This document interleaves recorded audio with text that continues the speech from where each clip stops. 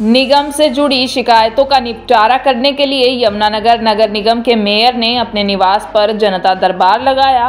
इस जनता दरबार में जहाँ लोग अपनी शिकायत लेकर पहुँचे तो वहीं नगर निगम के सभी अधिकारी भी इस बैठक में मौजूद रहे और मौके पर ही शिकायतों का निपटारा करने का प्रयास किया गया। सर, हमारी शिकायत ये है कि हमारी वार्ड नंबर 22 है। इसकी गली कालड़ा हॉस्पिटल से लेकर के अनेजा टावर तक की गली है। उसमें पानी खड़ा होता है ऐसे होता है जैसे गाँव में कच्ची गलियों में पानी खड़ा होता है। पार करना भले हमें पीछे गली यूज़ करनी पड़ती है। सीएम विंडो पे भी एप्लीकेशन डाली हुई है कुछ नहीं बना। अब इनके पास आए आप देखो क्या बनता है। अच्छा। है उसकी एज जो है सिक्सटी थ्री के करीब हो चुकी है। सारे कागज़ हमने कंप्लीट कर दिए हैं लेकिन वो बार बार यही कहते हैं कि ऑनलाइन होगा पता नहीं कब होगा ये नहीं पता। जो पानी पानी की समस्या के लिए तो मैंने सी एम विंडो के ऊपर एप्लीकेशन डाली थी अपने गली के लोगों से दस्तखत करा के।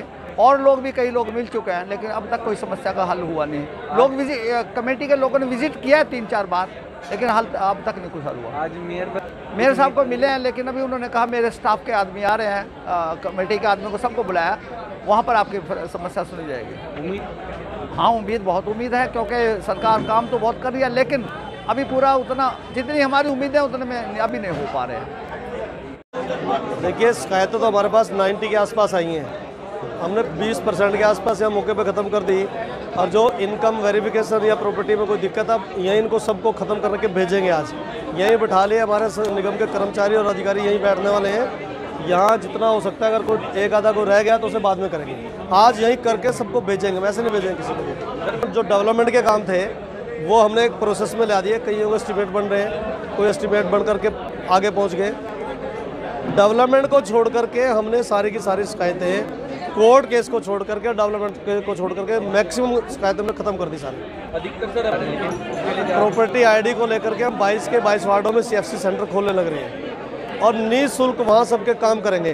चाहे प्रॉपर्टी आईडी का है चाहे फैमिली आईडी का है सर, जो भी सरल केंद्र पे जो भी काम होने वाले हैं सारे के सारे वहाँ निःशुल्क वहीं उन्हीं वार्डों में परमानेंट लगाएँगे। कोई एक महीने दो महीने के लिए नहीं परमानेंट हम ये व्यवस्था करने लग रहे हैं। सब लोग आएँगे वहाँ अपनी कंप्लेंट भी दर्ज कराएँ और वहीं से सोल्यूशन हम करने का काम करेंगे। प्रधानमंत्री आवास योजना को लेकर भी काफ़ी लोग प्रधानमंत्री आवास योजना को एक प्रक्रिया है।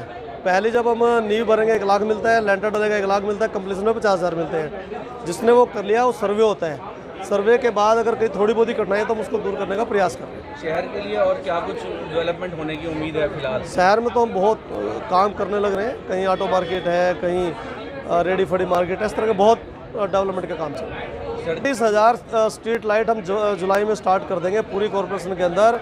इकतालीस हज़ार एक सौ बत्तीस नई लाइटें लगेंगी कैमरे लगेंगे और सब वो एक उसके माध्यम से भी वहाँ लाइटें दफ्तर में बैठे बैठे लग जाएगा पता।